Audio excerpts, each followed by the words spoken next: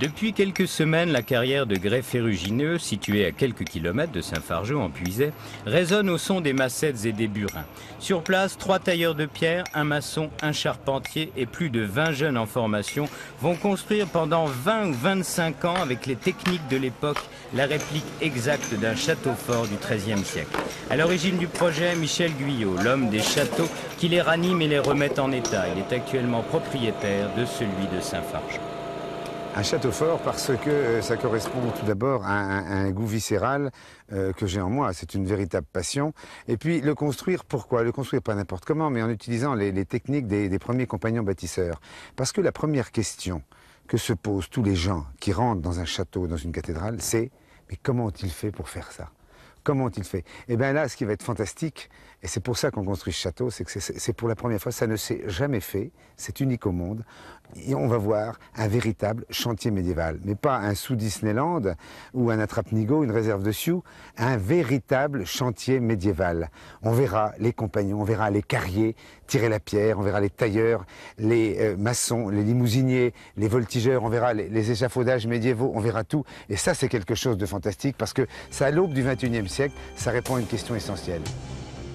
Voici la projection en images de synthèse de ce que sera dans 20 ou 25 ans ce château de Guédélon, château philippien du premier tiers du XIIIe siècle.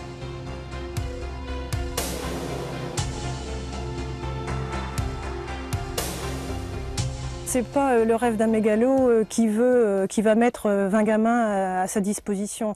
C'est, je crois que c'est l'inverse. Je crois que c'est quelqu'un qui a aussi envie de, de, transmettre un peu de sa folie à des jeunes qui étaient en difficulté, à les soutenir pour qu'on arrive à les, former, pour qu'on arrive à leur donner une polyvalence professionnelle, pour que soit vraiment l'équipe des compagnons bâtisseurs. Ils vont laisser leurs traces dans le, dans le futur.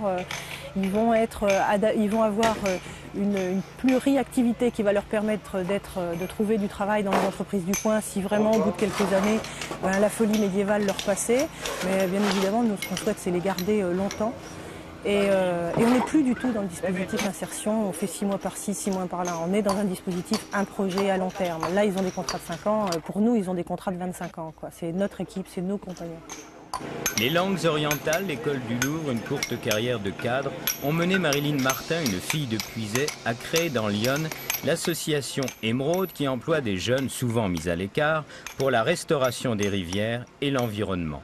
Ceux-là même qui travaillent aujourd'hui sur le chantier et apprennent des professionnels.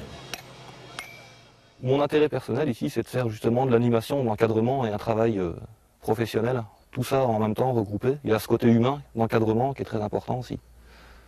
Ça permet de, justement, c'est un exercice sur soi-même un petit peu, quoi.